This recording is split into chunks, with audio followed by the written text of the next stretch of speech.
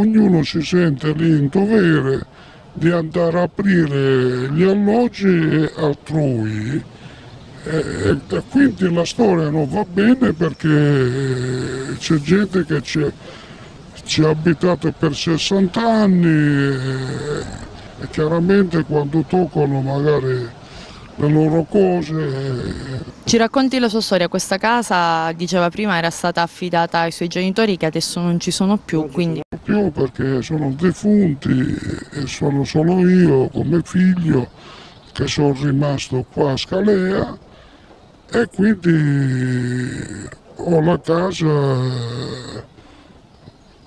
la casa dei miei, sono subentrato io.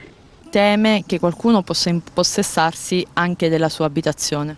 Sì, eh, perché è facile, se io esco fuori che mi sposto, magari pure per motivi di lavoro oppure per altri motivi, e mi entrano subito in casa come è successo pure altre, altre persone che per motivi di lavoro, ripeto, sono andati, sono andati via un mese fa di mattina, verso le 10 di mattina, sono entrati in un alloggio che era già diciamo, assegnato a una famiglia che abitava fuori, fuori Scalea, e sono entrato dentro, hanno portato via i mobili, hanno portato via tutto e loro sono, sono diventati loro i padroni di questa alloggio che non hanno nessun titolo e, e nessun diritto.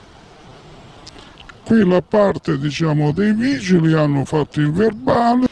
Ovviamente lei ha fatto queste segnalazioni ai carabinieri, al comune? Sì, sono andato pure dai carabinieri gli ho parlato pure della mia questione, il mio problema, che io quando vado via eh, so che... Che cosa le hanno risposto? Hanno risposto, purtroppo loro non, non possono farci nulla eh, perché non possono mica andare contro è un altro caso di segnalazioni alla nostra emittente. Come avete ascoltato, il signore ha voluto denunciare quanto accade a Scalea per le case popolari. La questione risulta essere alquanto complicata, anche noi siamo andati a chiedere spiegazioni. Questi alloggi riferiscono dal comune sono assegnati dall'Aterp di Cosenza, l'azienda territoriale per l'edilizia residenziale popolare, in base a criteri che valutano le condizioni di disagio economico e sociale del richiedente.